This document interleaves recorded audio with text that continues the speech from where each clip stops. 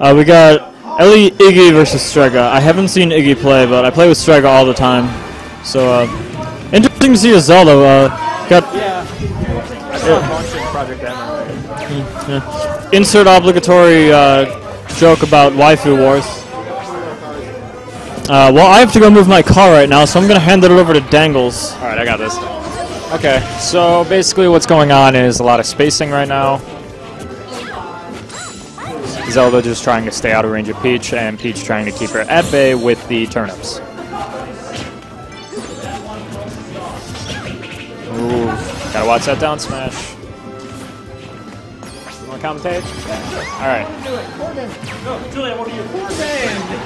Ooh, nice forward air. So here we have. Uh, Cock.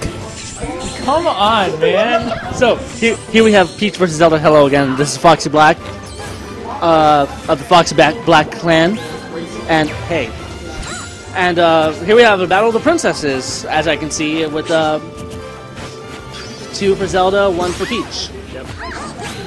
Now, She got an early uh, forward air, uh, That- like tip, so. Nice. See, this is another one of those examples, like I was saying before, of a good like distance match.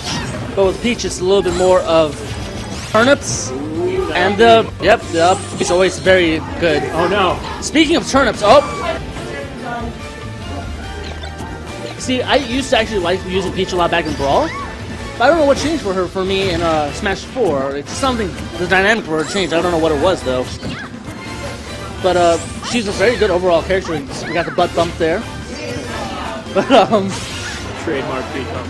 Another one of those tippers that I heard. Zelda's definitely very, Zelda's definitely very deadly in this game. Yeah, it's just a matter of uh, like knowing the spacing, Mm-hmm. keeping the groundwork like Oh, sanitary. we got a successful butt bump. Oh, no. Oh, nice reflect.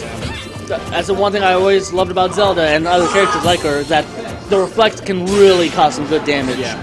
Stray's doing a good job of uh, shielding the uh, teleport though. Yeah. I watched Oh, Zelda's shield as if it will end up in an area. Nice down throw. Yeah. And uh, oh, we got Deep another boost. down throw. Leafy has done a return. Ooh, good shield. Looked like a perfect shield. I can't tell because I can't hear anything over here, but Now we have now we have three commentators. oh my. The tournament point. first. That's more than two. He's going for those upbeats, you know. Sorry, not my bad. Four commentators. I think you would like to add Trying to Kyle. get the code offense, but it's not, it's not happening. Kyle, no. One thing Strega can pretty consistently do is air dodge. Oh, this might be the end game. Nah, that turnip's not gonna do it. Ooh, got him with the up B. Anything can happen at this point. Oh, that deadly turnip though. I still will never be able to distinguish the turnips. Just go for the umbrella. Oh, that's end game. That's end game. Really close that though. That was a very close match with the princesses. We'll see you in the next match. It's a 1-0 so far.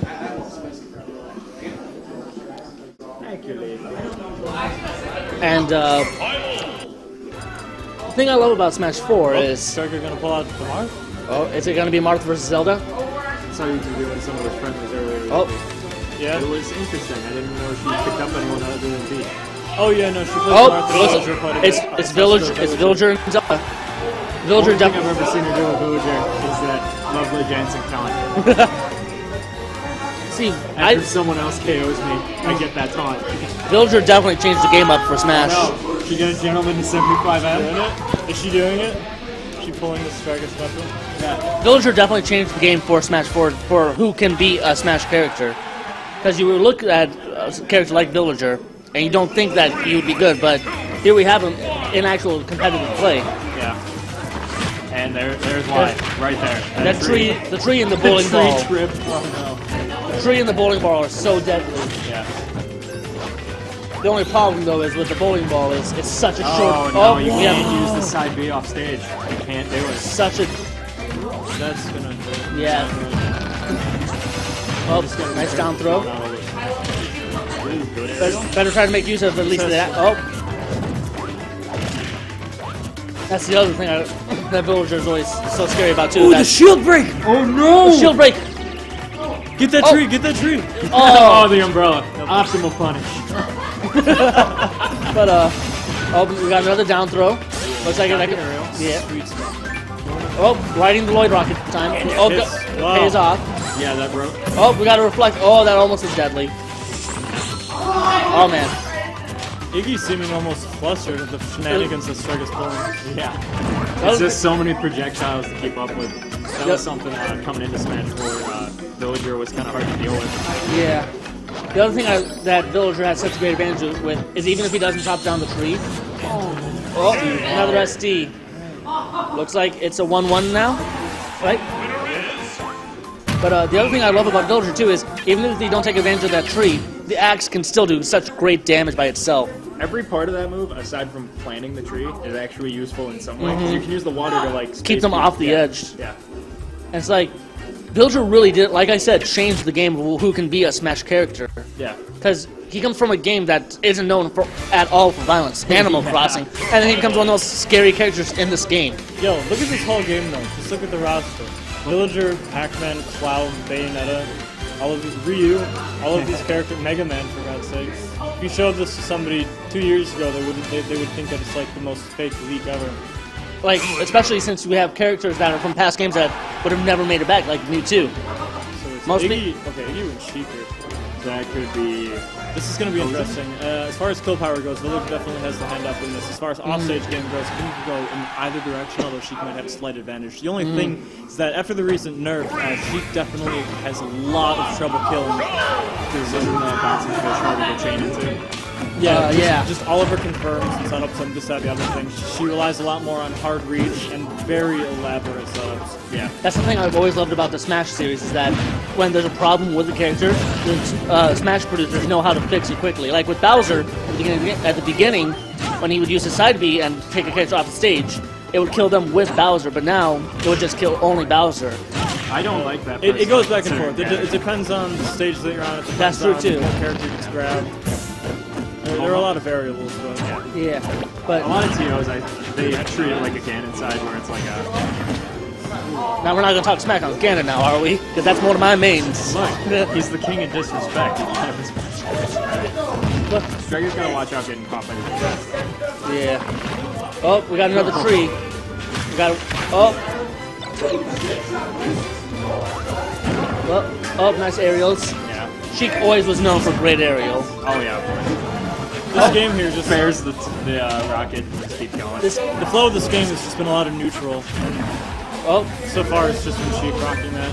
oh. Look at that- Ooh, oh, Lloid could just hit. Right out of that up B. And looks like. Oh. Only that tree top is a little bit faster. But we got another Lloid Rocket ride to save the day. Still trying to catch her with all the arrows. You cannot feel too safe in the neutral against the Sheiks. Almost was right into that. Well, I would say that is one of the harder things to uh, This is- space out with Sheik is that up land. This is But it definitely the a lot more- reliable. this is definitely a lot more of a even. Amazing grab. This is a lot more of an even match than I thought it was going to be because with Sheik, she's definitely known for the speed, but Villager has the power on their hand. So I can go. Oh. I got this. You, oh great. But uh, oh, bowling ball, which had no effect at all. We saw some needles and we saw the three turnip. And uh, oh, we got Lloid Rocket from the tree. Iggy respecting that tree in the zone that he can dominate on the stage. It really can. And the Villager definitely has one of the most wide range of weird attacks. Because it has the net for grabs, it has Lloid Rocket for the side B, balloons for an up B, which is one of the weirdest recoveries. And it didn't pay off there, speaking of them. And, uh, oh, we got some nice aerials there from Sheik. It looks like Sheik might have this in the, Nope, Oh. swing shot. it- it's anyone's game at this point with high damage. But honestly, my my bet's probably on Iggy with the Sheik, just because they have the extra stock where Villager's already at 104. But anything can happen. Villager has been known to be able to recover pretty fast. The bouncing fish would look like. if you waited it out. Back by the needles again. Oh, this might be end game right here. Oh, Nope, almost almost stopped the recovery right there. Was but Villager was just barely able to make it. Trying to read for when the villager would chop the tree and it paid off. Well, back throw would have killed. So. That that was a good throw, but back throw would have been the essential bit. Ready? Bounce the fish off. Yeah, you just Oh, you just can't. is this is this it? Is this it? This is a very close game right now. Just because anything can still happen. But honestly, Villager looks like Villager looks like they're about to lose right now.